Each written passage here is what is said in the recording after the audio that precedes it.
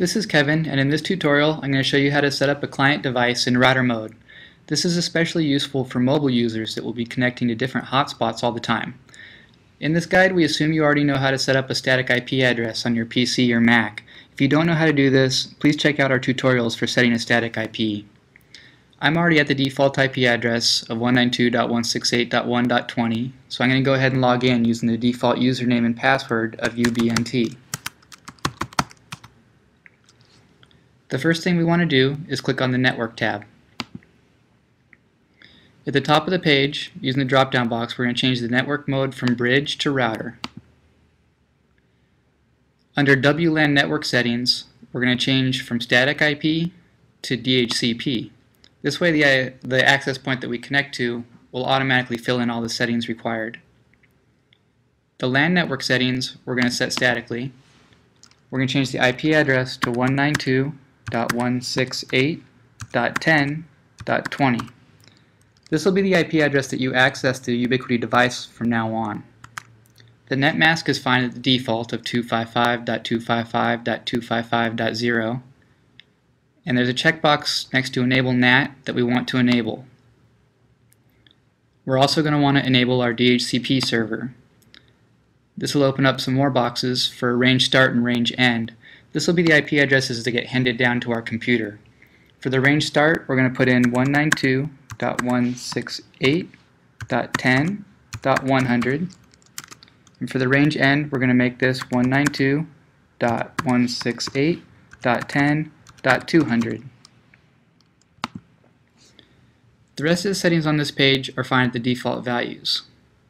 So we're going to go ahead and click the Change button at the bottom of the page and now we're going to go ahead and apply these settings. At this point, you're going to want to go ahead and change your computer back to obtain an IP address automatically or using DHCP if you're on a Mac. Uh, the device will no longer be accessible by the default of 192.168.1.20 because we changed the IP address to 192.168.10.20. So in the address bar, once you've set your computer back to obtain automatically, you're going to want to enter in 192.168.10.20, which will bring us back to the login page.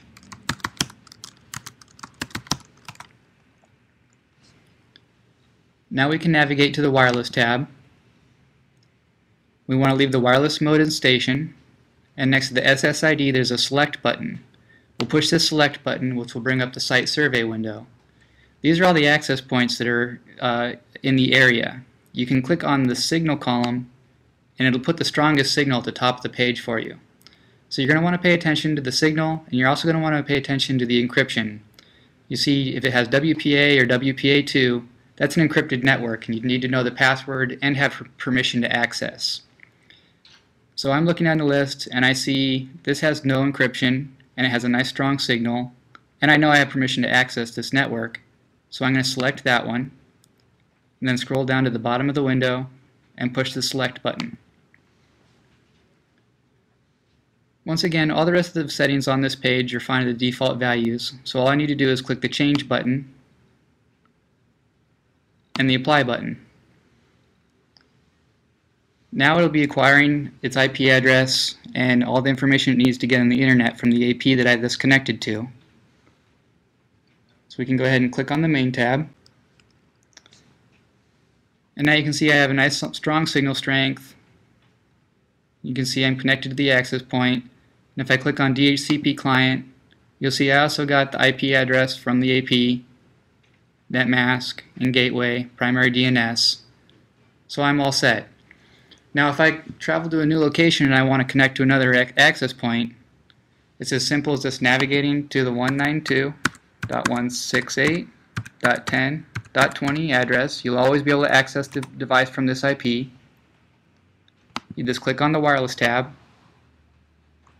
select the SSID, and then once again you can just look for the new access point you want to connect to, paying attention to the signal strength and the encryption column.